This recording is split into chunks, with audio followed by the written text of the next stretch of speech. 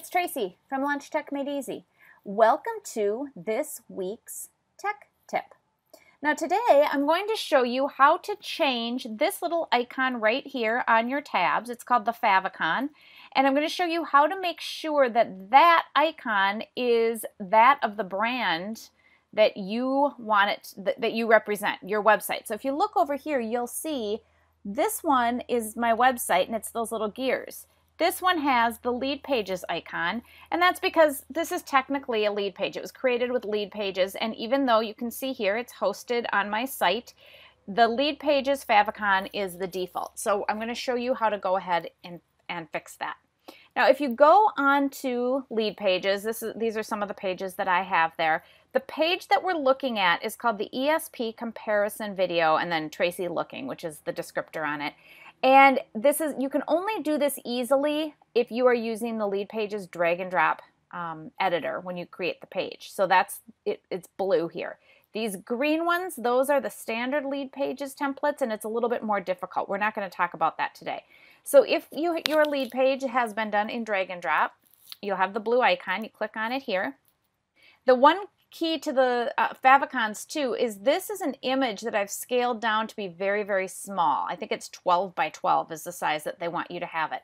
So you may need to resize the image you want to use before you can use it as a favicon.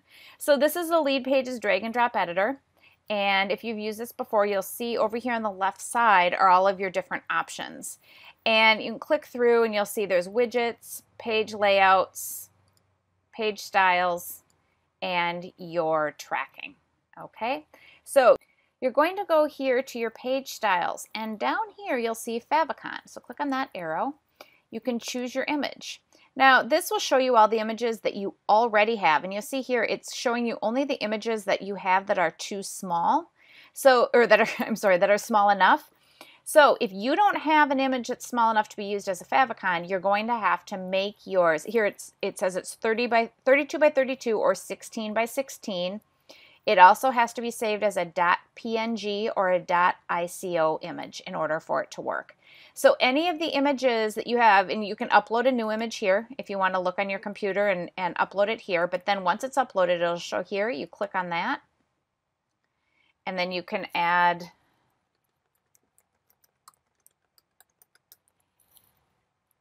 and insert it.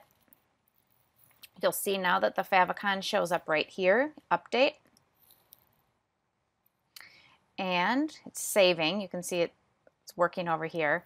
But then it, when I refresh this,